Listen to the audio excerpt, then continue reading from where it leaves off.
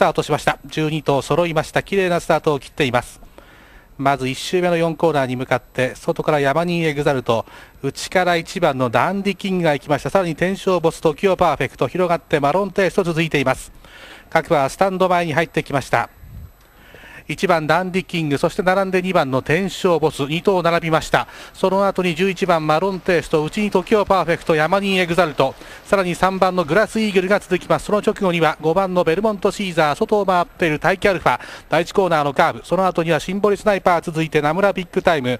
後方から2頭目はデュアルライフです。最後方から離れてどんとこいたかとも。各馬は第2コーナーのカーブに入っていきました。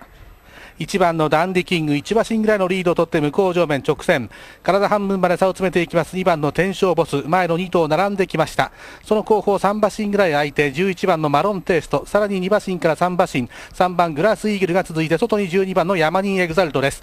あと1馬身後方にはムチが入る8番の大気アルファベルモントシーザーとシンボレスナイパー並んで3馬身差名村ビッグタイム内からは9番のリアルライフが続いていきました。後方3馬身から4馬身と空いてどんとこい高友が1頭かわしていきます。最高峰7番時をパーフェクトに変わって縦長の展開。前の2頭はまもなく第4コーナーのカーブです。1番ダンディキングそして2番の天正ボス。2頭が並んで後続に4馬身ぐらいのリードを取りました。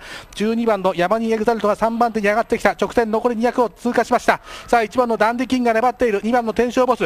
12番山にエグザルトがぐんぐん前に接近してくる。さあ2番の天正ボスが先頭だ。天正ボス。12番山にエグザルトが2番手から前に迫るが天正ボス合輪重賞制覇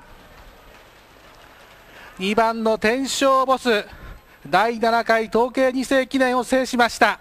手綱を取っていたのは菅原勲騎手。